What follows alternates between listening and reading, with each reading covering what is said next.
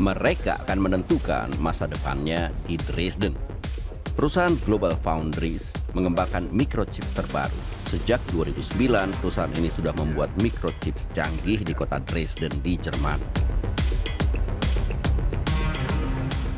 Dresden tatsächlich war der Halbleiter Dresden dulunya kota semikonduktor Jerman Timur.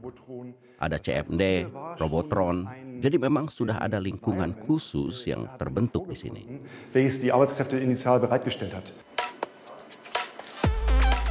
Pegawainya terdiri dari berbagai usia dan berasal dari 45 negara.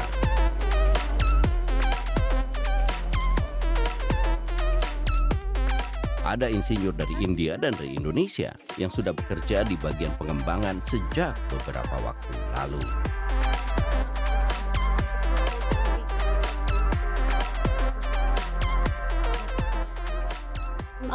Saya dikelilingi begitu banyak orang pintar. Setiap hari belajar sangat banyak dan itu tidak saya temukan di tempat lain. Uh.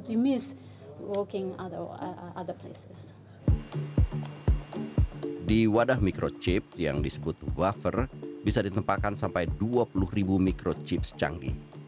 Perusahaan ini punya lokasi produksi di Amerika Serikat, Singapura, dan di Dresden.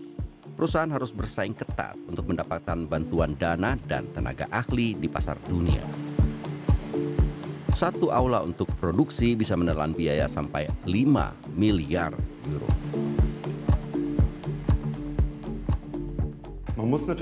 Memang industri semikonduktor jadi sorotan politik karena semua negara berusaha menguasai industri ini. Dan banyak negara yang secara ekonomi bergantung pada microchips memberikan subsidi dan sokongan besar untuk industri ini. Eropa belum bisa bersaing saat ini. ähm, mit denen Europa in der jetzigen Situation nicht annähernd mithalten kann. Di Dresden ada Global Foundries, Infineon, dan Bosch, dan lebih banyak perusahaan lagi yang ingin ditarik ke sini.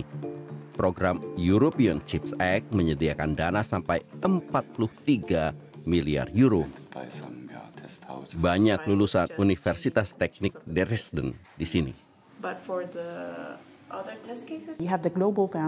Di sini ada perusahaan pendesain, ada startup, ada semikonduktor organik, dan banyak hal lain. uh, Jadi orang bisa mendapat peluang yang besar.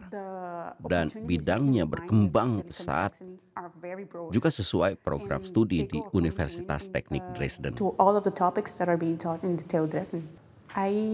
Saya suka Dresden, kota yang cantik dan budaya kerja sangat sehat.